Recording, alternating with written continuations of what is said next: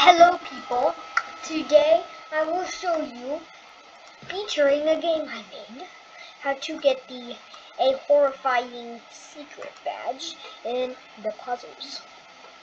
Now this video is only for my friends, so you're probably Xander or Gabe if you're watching this, but yeah, this is the game, the puzzles. The pu- pu- pu- puzzles.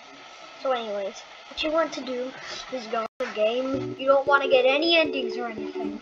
All you need to do is do not, especially don't go to, do not draw on the walls.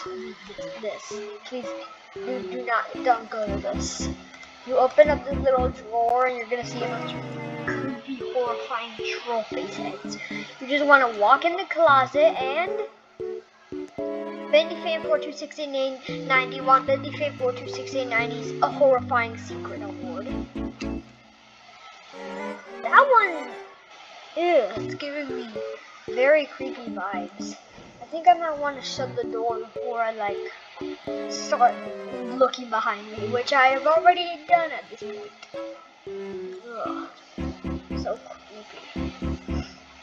I'm just gonna click on button. Whatever. See, that only took you like one minute.